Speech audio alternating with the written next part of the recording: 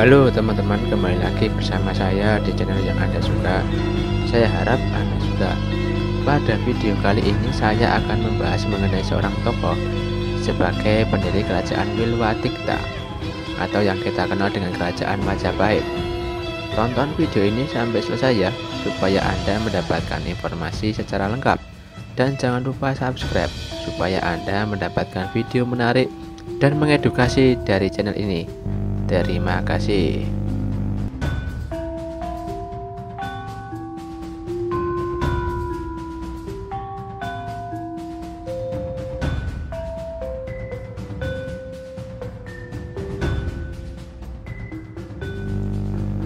Kerajaan Majapahit merupakan salah satu kerajaan termasyur yang pernah berdiri di Nusantara atau Indonesia pada masa kini. Kerajaan Majapahit dalam sejarah memiliki wilayah mencakup Suwarna Dwipa atau Pulau Sumatera di bagian barat hingga ke Jenggi di timur yang sekarang wilayah Papua. Bisa dibayangkan betapa luasnya wilayah kerajaan Majapahit yang awal mulanya merupakan daerah bawah kerajaan Singasari yang kemudian ditaklukkan oleh Jayakatwang kemudian berubah menjadi sebuah kerajaan yang dapat menancapkan kekuasaannya keluar Jawa Dwipa atau Jawa Dwipa atau Pulau Jawa sebagai pusat pemerintahan kerajaan Majapahit. Perkembangan kerajaan Majapahit tentunya tidak semudah yang dibayangkan. Banyak rintangan menghadang tentunya hal ini menjadi tolak ukur mengenai kecakapan penguasa tahta kerajaan Majapahit dalam mengatur dan menyelesaikan sebuah persoalan yang dihadapi kerajaannya. Oleh karena itu, besarnya kerajaan Majapahit tidak terlepas dari kualitas pemimpinnya. Kerajaan Majapahit didirikan oleh Raden Wijaya, seorang menantu dari Raja Kertanegara dari Singasari. Raden Wijaya menikah dengan putri Raja Kertanegara yang bernama Gayatri Raja Patni. Kemudian dari pernikahan tersebut Raden Wijaya dan Gayatri Raja Patni memiliki seorang putri bernama Dia Gitarja atau ketika naik tahta bernama Tribu Wana Tunggadewi Jaya Wisnuwardani. Raden Wijaya sebagai raja pertama dan sekaligus pendiri kerajaan Majapahit tidaklah semudah membalikkan telapak tangan saja. Namun ada perjuangan di balik berdirinya kerajaan Majapahit yang namanya abadi dalam sejarah Nusantara atau Indonesia bahkan di dunia. Raden Wijaya menjadi sosok luar biasa dikarenakan kisah perjuangannya sebelum menjadi seorang raja raja besar dan dihormati oleh rakyatnya ternyata memiliki kisah yang panjang dalam upaya menyelamatkan negaranya yaitu kerajaan Singasari. Hal ini menjadi menarik karena beliau merupakan bangsawan yaitu menantu dari Sri Kertanegara, Raja Singasari yang mangkat karena dibunuh oleh Jayakatwang. Oleh karena itu, sebelum memasuki tokoh Gayatri, hendaknya membahas terlebih dahulu mengenai sosok Raden Wijaya, pendiri kerajaan Majapahit yang sangat dihormati oleh rakyatnya, bahkan musuh-musuhnya. Nama Nararya Sang Rama Wijaya atau dikenal dengan Raden Wijaya dapat ditemukan di Prasasti Kudadu. Dalam Prasasti Kudadu menyebut sebagai Diah Wijaya Kemunculan Diah Wijaya bertepatan dengan penyerangan tentara gelang-gelang terhadap Tumapel dalam bulan Mei sampai Juni tahun 1292 Masehi. Sri Kertanegara memerintahkan Diah Wijaya untuk menghalau pasukan gelang-gelang yang datang dari arah utara Tumapel. Pasukan Diah Wijaya berhasil menghalau dan mengusir pasukan gelang-gelang dari utara. Namun pasukan gelang-gelang yang datang dari arah selatan berhasil memasuki keraton Tumapel tempat kediaman Sri Kertanegara dan berhasil membunuh Sri Kertanegara. Akhirnya Sri Kertanegara mangkat dan kekuasaannya jatuh ke tangan Jayakatwang, penguasa gelang-gelang yang berhasil menguasai kerajaan Singasari. Raden Wijaya atau Diah Wijaya mendapat informasi bahwa Sri Kertanegara telah mangkat Kemudian beliau kembali ke Tumapel untuk melakukan serangan balasan. Dalam serangan balasan tersebut, Raden Wijaya menemukan istrinya yaitu Tribuwana, istri Raden Wijaya. Namun, Gayatri belum ditemukan keberadaannya. Kemudian beliau bersama pengikutnya memutuskan untuk melarikan diri dalam ke dalam hutan untuk menghindari pengejaran musuh. Pelarian Raden Wijaya bersama para pengikutnya ini menjadi salah satu upaya penting dalam menyelamatkan diri dari kejaran musuhnya dan sekaligus sebagai usaha untuk melakukan perlawanan Raden Wijaya dan pengikutnya di masa mendatang. Dalam beberapa hari melakukan pelarian di dalam hutan, akhirnya Dyah Wijaya dan pengikutnya memutuskan untuk pergi ke Madura, ke tempat Arya Wiraraja yang merupakan adipati di Sumeneb. Menjadi sangat menarik karena Arya Wiraraja sempat menjalin hubungan dengan Jaya Katwang ketika Jaya Katwang merebut tahta kerajaan Singasari dari Sri Kertanegara dan akhirnya berhasil. Namun situasi berbalik ketika Arya Wiraraja membantu Dyah Wijaya atau Raden Wijaya dalam pelariannya dari kerajaan Pasukan Jaya Katwang. Oleh karena itu, dinamika politik selalu berubah-ubah sesuai dengan kepentingan masing-masing pihak kata para raton sebagai berikut. Keluarlah mereka dari dalam hutan sampai di Pandakan, menuju rumah kepala desa Pandaan yang bernama Macan Kuping. Raden Wijaya diberi hidangan berupa buah kelapa muda, dipersilakan minum airnya. Ketika dipecah, ternyata kelapa itu berisi nasi putih. Heranlah semua orang melihatnya. Katanya, sungguh ajaib, tidak ada kelapa berisi nasi. Gajah Pakon tak dapat berjalan. Berkatalah Raden Wijaya kepada kepala desa Pandaan, saya titip seorang teman. Gajah Pakon tidak dapat berjalan agar ia tinggal di sini. Gajah Pakon ditinggalkan. Raden Wijaya lalu pergi ke datar pada malam hari. Setelah datang di datar, kemudian naik perahu.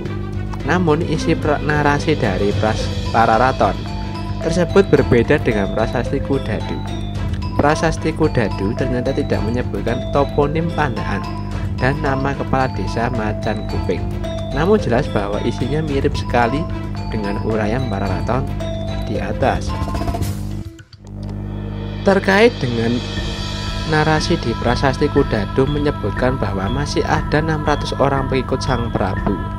Pagi berikutnya musuh datang membututi Sang Prabu Ternyata Sang Prabu melawan mereka, sedangkan Sang Prabu memisahkan diri. Dalam mengundurkan diri, Dyah Wijaya berunding dengan para pengikutnya yang masih menyertainya. Menurut pendapatnya, ia harus pergi ke Trung untuk berunding dengan Akowu di sana, yaitu Rakrian Wuru Agraja, yang diangkat menjadi Kuwu oleh Raja Kertanegara. Agar Akowu dapat membentuk, membantunya dengan cara mengumpulkan orang-orang yang ada di Trung semua menyetujui pendapat Dia Wijaya melalui Kulawan bergerak menuju Kertrung.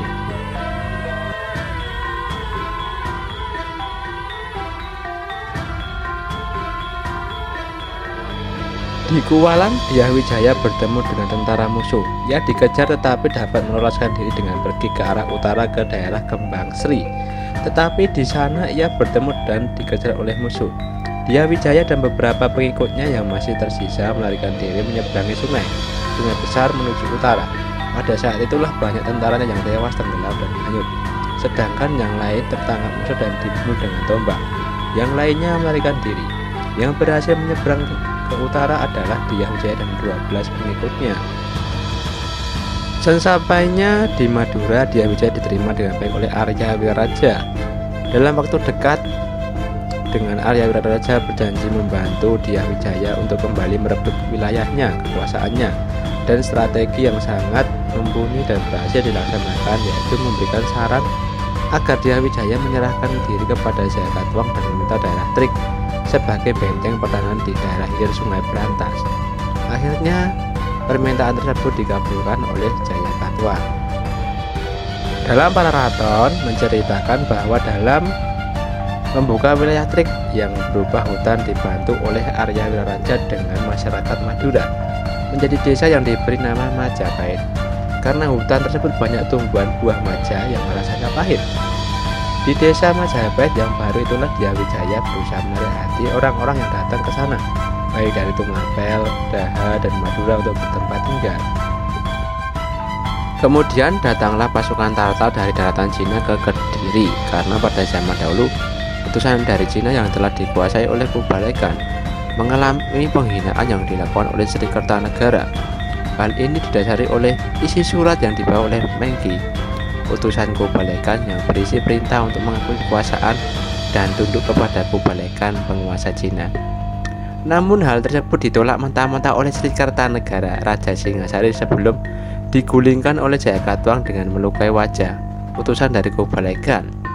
Peristiwa tersebut menjadi kan politik di Singasari mengalami gonjang-ganjing dan akhirnya setelah masa Jayakatwang berkuasa di Kediri, tentara Kubalekan datang ke Kediri untuk menghukum Sri Kertanegara.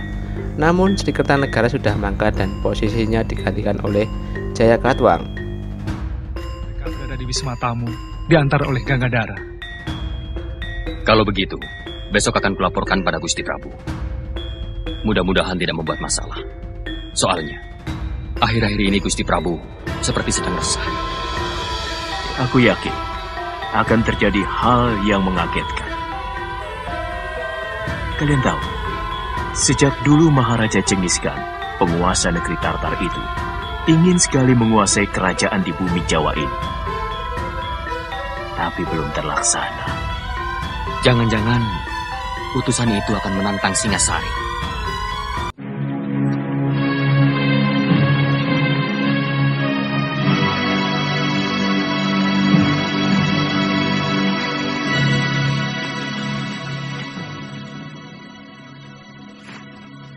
Hamba mengaturkan surat dari Baginda Maharaja Kubilaikan, penguasa dari daratan Hindustan hingga pantai timur negeri Cina.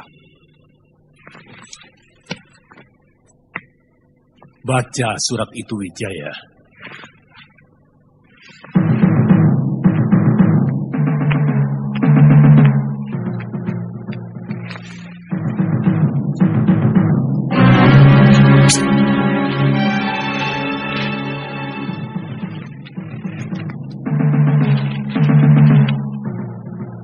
Salam sejahtera buat Tuan Prabu Negeri Jawa.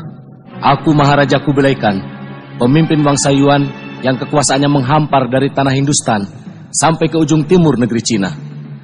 Akan menjamin keselamatan negeri Tuan kalau Tuan mengakui kekuasaan kemaharajaanku yang perkasa. Pasukan kuat kami mampu bergerak seperti badai gurun pasir, menghancurkan siapa saja yang berani menentang kekuasaanku. Kapal-kapal lautku mampu menutup lautan dan sungai-sungai di negeri Tuan. Baliknya, kalau Tuan Prabu menerima ajakan baikku, maka kami akan membuka perdagangan dengan negeri Tuan dengan perasaan damai. Jawaban Tuan Prabu sangat kutunggu.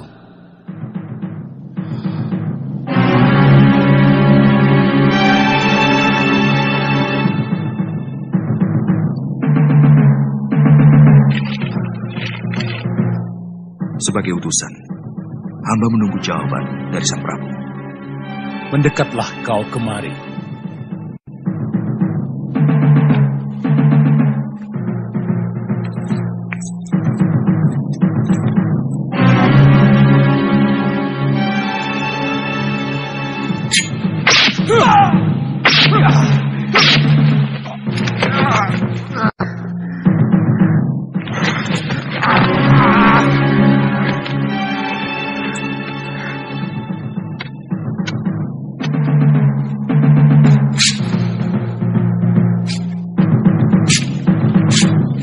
Itulah jawabanku. Katakan pada rajamu, prajurit-prajurit Singasari bagaikan gunung karang yang sanggup menahan angin taufan sedahsyat apa pun. Kau akan menyesal dengan perlakuanmu ini. Negerimu akan rata dengan tanah.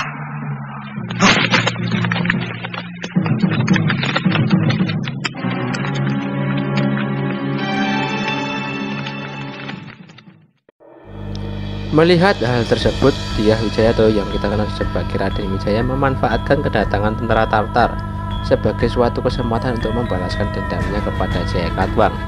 Akibat ulahnya, Kertanegara mangkat dan kerajaan Singasari mengalami keruntuhan.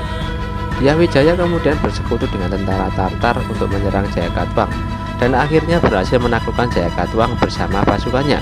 Namun setelah itu Diah Wijaya berbalik menyerang pasukan Tartar yang sedang merayakan kemenangannya melawan Jayakantwang dan dia Wijaya berhasil mengusir pasukan Tartar kembali ke negeri mereka. Selanjutnya dia Wijaya diangkat sebagai Raja Majapahit dan dengan gelar Sri Kertajasa Jayawardana.